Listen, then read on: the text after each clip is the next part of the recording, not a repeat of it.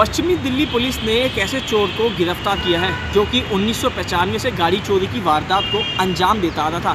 बीते दिनों पंजेबा क्षेत्र में करमवीर नाम के जो सिपाही तो पेट्रोलिंग कर रहे थे और उसी दौरान एक गाड़ी चोर के जो मुख्य आरोपी था, उसको धर दबोचा।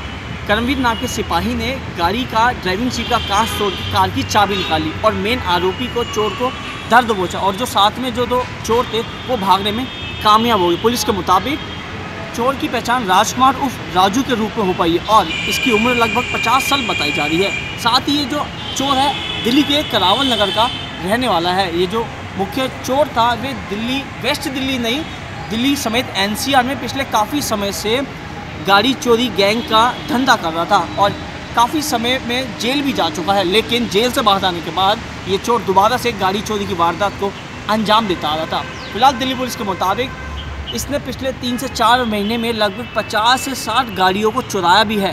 साथ ही आपको बता दें, ये जो मुख्य चोर है, इस पर हत्या समेत लूट के 28 मामले भी दर्ज हैं। फ़िलहाल दिल्ली पुलिस ने मेन जो गैंग का आरोपी था, मुखिया था, राजकुमार को तो धर दबोचा है, और उसके पास से कार चुराने वाले टूल्स को भी दिल्ली पुलिस ने बरामद कर लिया है। फ़िलहाल साथ में जो दो अन्य चोर थे, उनकी भी अभी तलाश जारी है।